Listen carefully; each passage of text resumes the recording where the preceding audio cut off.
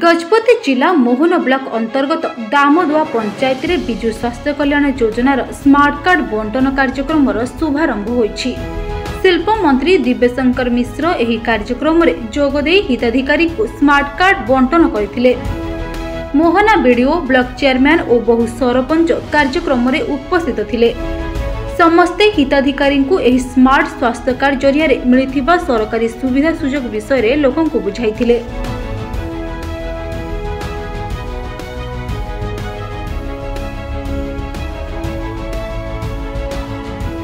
ସେହିଭଳି ଅଲିଗଣ୍ଡା ପଞ୍ଚାୟତରେ ମଧ୍ୟ ସମାନ ଧରଣର କାର୍ଯ୍ୟକ୍ରମ ଅନୁଷ୍ଠିତ ହୋଇଥିଲା।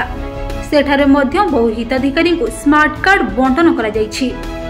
ସୂଚନାଯୋଗ୍ୟ ଯେ ମୁଖ୍ୟମନ୍ତ୍ରୀ ନବୀନ ପଟ୍ଟନାୟକଙ୍କ ନିର୍ଦ୍ଦେଶ କ୍ରମେ ମନ୍ତ୍ରୀ ଓ ନେତାମାନେ ତୃଣମୂଳ ସ୍ତରରେ ପହଞ୍ଚି ହିତାଧିକାରୀଙ୍କୁ ବିଜୁ ସ୍ୱାସ୍ଥ୍ୟ କଲ୍ୟାଣ ଯୋଜନାର ସ୍ମାର୍ଟ କାର୍ଡ ବଣ୍ଟନ କରିବା ସହ ସେମାନଙ୍କୁ ଏହାର ଉପକାରିତା ବିଷୟରେ ବୁଝାଉଛନ୍ତି।